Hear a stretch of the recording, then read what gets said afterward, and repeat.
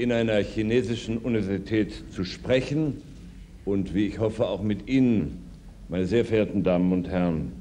Zunächst bedanke ich mich. China und Deutschland treten gemeinsam für eine internationale Ordnung ein, und zwar für eine Ordnung, die gleichberechtigte Zusammenarbeit heißt, und zwar auf der Grundlage der Stärke des Rechtes. Nur die Beachtung dieser Prinzipien ermöglicht die Bewältigung der großen vor uns liegenden Herausforderungen. Dies betrifft Herausforderungen im Irak oder in Nordkorea, in Afghanistan, wo mein Land insbesondere engagiert ist, oder auch die Herausforderungen, die mit dem Kampf gegen den internationalen Terrorismus zusammenhängen. Aufforderung jetzt äh, ähm, Fragen zu stellen. Wer eine Frage stellen soll, bitte auf.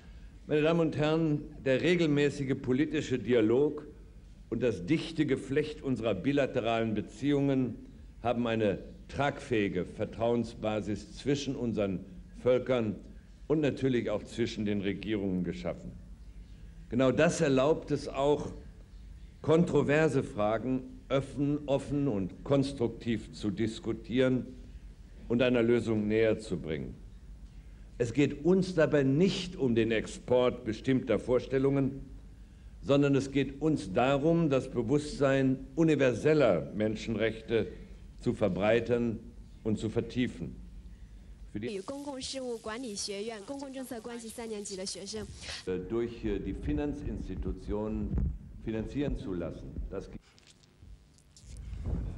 macht, dass ich den Standpunkt Chinas nicht nur verstehe, sondern teile.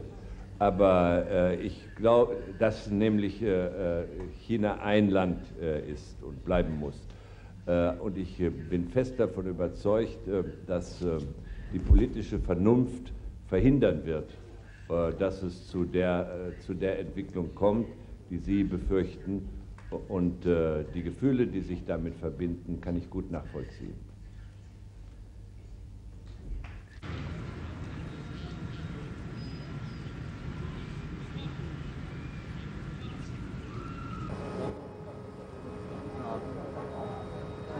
好好好好好。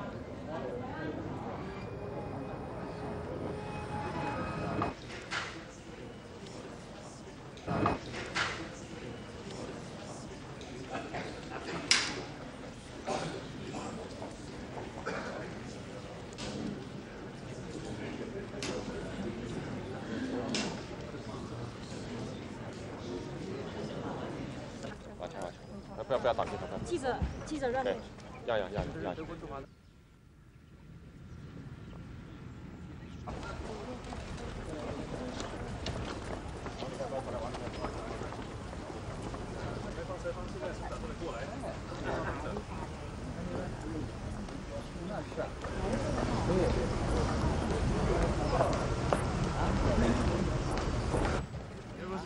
好好，往里面，往里面，往里面。对对对，往里往里啊。